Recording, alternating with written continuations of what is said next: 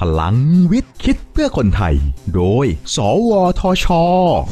ตอน TVIS แอปพลิเคชันรายงานจราจรรับสงกรานต์การเดินทางในช่วงเทศกาลสงกรานต์มีปัญหาจราจรติดขัดอย่างมาก หากเรามีผู้ช่วยคอยรายงานสภาพจราจร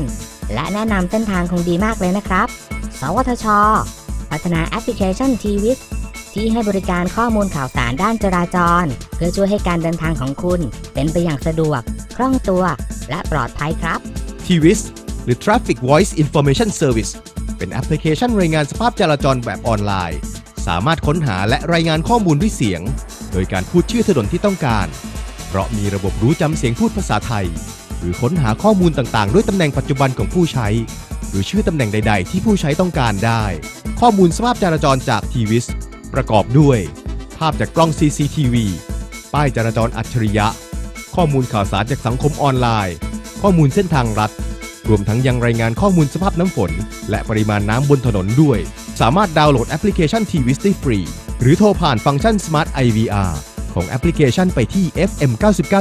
99.5 เพื่อฟังข้อมูลสภาพการจราจร หรือผ่านเครือข่ายโทรศัพท์มือถือ ซึ่งโทรฟรีเช่นกัน ผลงานวิจัยพัฒนาโดย n e c t e c h สวทช